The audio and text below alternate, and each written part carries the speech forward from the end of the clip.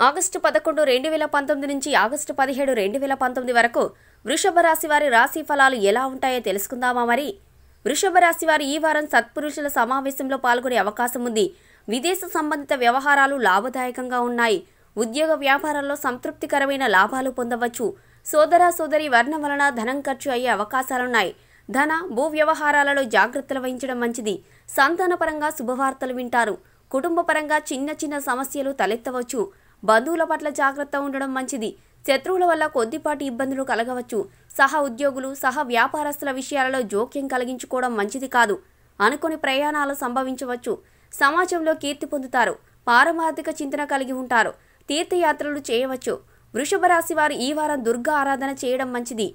So friends ఇంతవరకు చెప్పబడిన వృషభ రాశి వారి వారాఫలాలు గ్రహస్థితులను ఉద్దేశించి చెప్పబడినాయి. వ్యక్తిగతంగా చెప్పినవి కావు.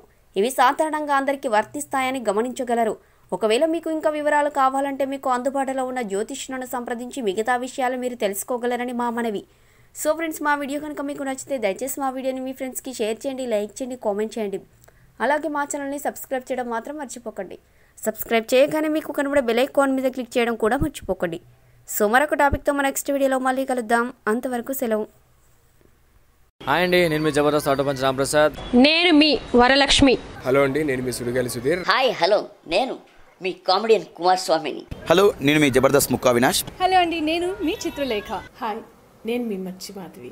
నా పేరు Tadivelu. Please subscribe to public talk TV please subscribe public talk TV please subscribe public talk TV please subscribe to public talk TV please subscribe public talk TV please subscribe to public talk TV please subscribe to public talk TV